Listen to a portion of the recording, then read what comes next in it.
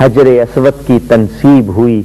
یہ حجر اسود، یہ وہ مقام ہے کہ جب طواف کرنے والا عمرے کا ہو یا نفلی طواف یا حج پہ جائے، طواف کی ابتدا اسی حجر اسود سے ہوتی ہے اور اسی پر آ کر ختم ہوتی ہے۔ یہ حجر اسود وہ ہے کہ یہ اس کے بارے میں یہ بات جان لیجیے، یہ جنت کا پتھر ہے، اسے آگ نہیں لگ سکتی۔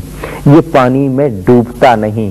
اور میں ایک اہم بات اپنے ناظرین کو ضرور بتاؤں گا۔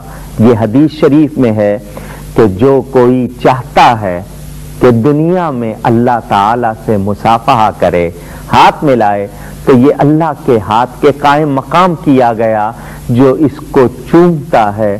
گویا اللہ سے مسافہ کرتا ہے۔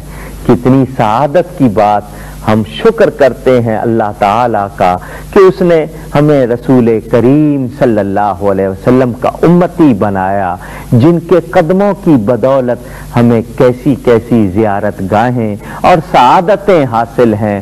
اللہ مجھے اور آپ کو توفیق دے کہ ہم حجر اسود کو دیکھیں، بوسہ دیں۔ اور یہ وہ مقام ہے یہاں جو دعا کی جاتی ہے ضرور قبول ہوتی ہے۔ اللہ ہم سب کو یہ توفیق عطا فرمائے۔ والسلام علیکم ورحمت اللہ وبرکاتہ۔